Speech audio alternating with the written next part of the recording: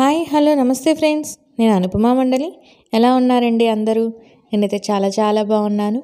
ఈరోజు మనం ఇంట్లోనే పాలతో కలాకాని ఎలా చేసుకోవాలో చూపిస్తానండి. స్టార్ట్ చేసినప్పుడు చాలా అబ్బబ్బా అనిపించింది కానీ మధ్యలో కాసేపు చెయ్యనొప్పి అనిపించింది కానీ ఎండింగ్ టేస్ట్ చూసాక అద్భుత అండి. ఇది ఎలా తయారు చేసుకోవాలో చూపిస్తాను. నేను ఎలా చేసుకుంటానో చూపిస్తాను.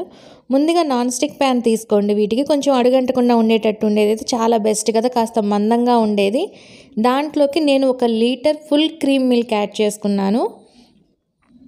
ఈ పాలు యాడ్ చేసిన తర్వాతనే ఇప్పుడు స్టవ్ ఆన్ చేసుకొని ఇట్లా కలుపుతూ ఉండండి. మధ్యలో ఫస్ట్ కాస్త మీగడ కట్టి పాలు మరిగేంత వరకు వస్తాయి కదా అప్పుడు దాకా కూడా కొంచెం మధ్యలో కదుపుతూనే ఉండండి. సిమ్లోనే పెట్టి ఉడక పాలు కాగేది పెట్టుకోండి. చూస్తున్నారు ఇట్లా మీగడ వస్తుంది కదా ఆ మీగడిని కూడా పాలల్లోనే కలుపుతూ అంచులకు ఏమైనా అంటుకుంటూ ఉన్నా వాటిని కూడా దాంట్లోకి యాడ్ చేస్తూ ఉండండి. సిమ్లోనే పెట్టండి. కొంచెమన్నా మనం హైలో పెట్టాము అంటే ఫుల్ క్రీమ్ వల్ల కూడా అడుగున మనకి అంటుతుంది కదా పాల గిన్నెకి. అలా అంటుకుపోయినా కూడా అది నల్ల నల్ల మచ్చల్లాగా వచ్చి టేస్ట్ పాడవుతుంది.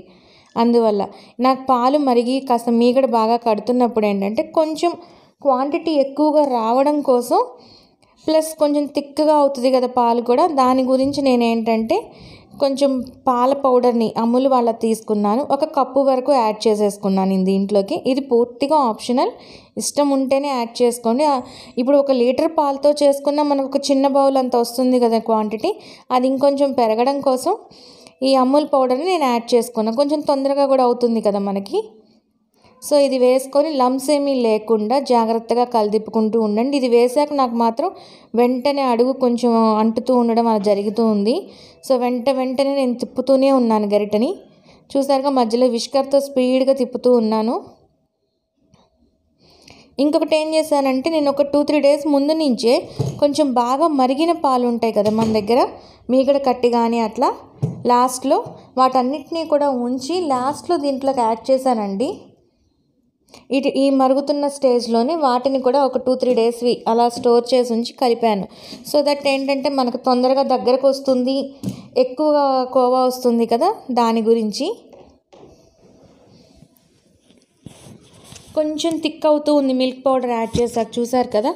ఇవి కొంచెం బాగా మరిగి సుగం తగ్గిని మీకు పైన గీత కనిపిస్తూ ఉంది కదా తగ్గిన తర్వాత ఇక్కడ ఏం చేశానంటే ఒక టూ స్పూన్స్ నిమ్మరసానికి టూ టు త్రీ స్పూన్స్ వాటర్ని మిక్స్ చేసుకొని కొంచెం కొంచెంగా ఒకేసారి యాడ్ చేసినా కూడా మనకి ఇరుగుతుంది కానీ అది ప్రాపర్గా మనకి పూస పూసగా రాదండి.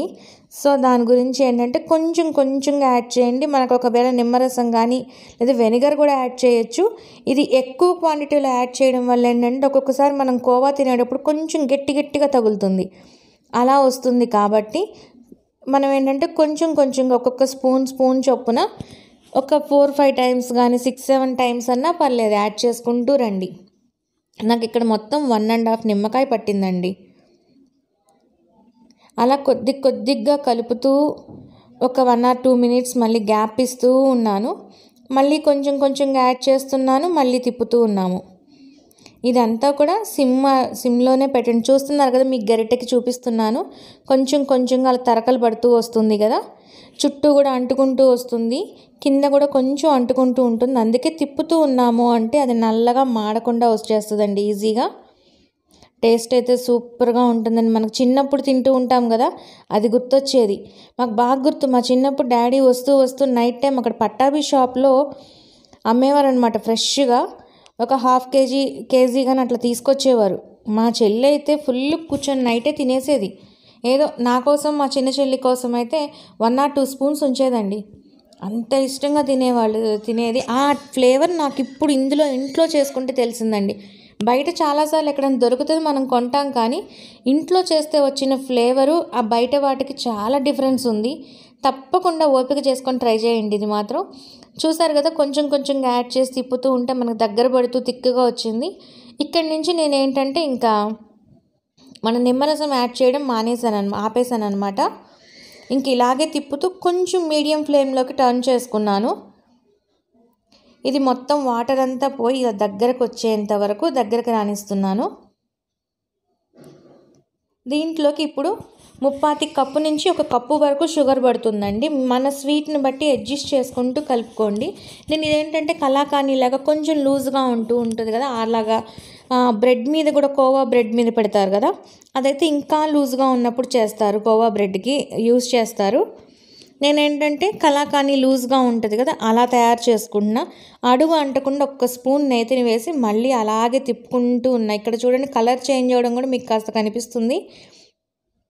మీరు క్యూబ్స్గా కట్ చేసుకోవాలి అంటే నేను ఎండింగ్లో చూపించిన దాన్ని దీని మీద ఇంకొంచెం థిక్గా రానివ్వండి. క్యూబ్గా కట్ చేయాలి అనుకుంటే మాత్రం. నేను ఏంటంటే ఇట్లా లూజ్గానే ఉంచేసాను మాకు ఎక్కువగా ఇలా ఇష్టపడతారు.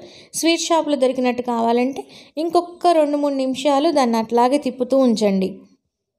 టేస్ట్ అయితే సూపర్గా ఉందండి. ఇంతవరకు చేశాను కదా ఎందుకు ట్రై చేయకూడదు అని చెప్పి నేను ఒక దీంట్లో కూడా పెట్టేసి కొంచెం ఎప్పుడు తీసినా ఈజీగా ఉండేటట్టు ఉండడానికి దీంట్లో కొంచెం నెయ్యి అప్లై చేసేసి దీంట్లోకి నేను ఆల్రెడీ తయారు చేసుకునేది మొత్తం యాడ్ చేశాను. మేబీ ఇంతే క్వాంటిటీ వచ్చేదేమో. నేను ఏంటంటే ఎక్స్ట్రా మిల్క్ పౌడరు ఒక టూ త్రీ డేస్ నుంచి కొంచెం బాగా మీగడ కట్టిన పాలను కూడా ఉంచి యాడ్ చేయడం వల్ల నాకు కాస్త క్వాంటిటీ ఎక్కువగానే వచ్చిందండి. టేస్ట్ అయితే సూపర్గా ఉంటుంది. ఎంతమందికి ఇష్టమో మీరు కామెంట్ సెక్షన్లో చెప్పండి. నచ్చితే లైక్ చేయండి. కొత్తగా చూస్తున్న వాళ్ళు ఎవరైనా ఉంటే సబ్స్క్రైబ్ చేసుకోండి. సబ్స్క్రైబ్ చేసుకున్నప్పుడు పక్కనే ఉన్న గంట సింబల్ని కూడా యాక్టివేట్ చేసుకోండి.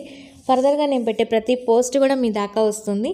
దీనిని కొంచెం చల్లారనివ్వడానికి అలా పక్కన పెట్టేసాను నెక్స్ట్ డేకి అట్లా కూడా వాడుకోవచ్చని. ఇప్పుడు ఇంకా అది కాక ఇంత కూడా ఈ క్వాంటిటీ కూడా ఇంత వచ్చిందండి. నాకు ఈ బౌల్ సరిపడా కూడా వచ్చింది. దీన్ని ఏంటంటే మేము వేడి వేడిగా తిన్నాము. దట్టు బ్రెడ్ మీద కూడా సర్వ్ చేసుకొని తిన్నాము. కోవా బ్రెడ్ అమ్ముతారు కదా మనకి బయట? బ్రెడ్ మీద కోవా పెట్టి పైన లూజ్ కనిపిస్తుంది. అంతా కూడా దానికి సూపర్గా ఉంటుందండి. తప్పకుండా ట్రై చేయండి. ట్రస్ట్ చేయండి. బయట దొరికే దానికన్నా మనం ఇంట్లో కొంచెం ఓపిక పెట్టి చేసుకున్న దీంటే సూపర్. Thanks for watching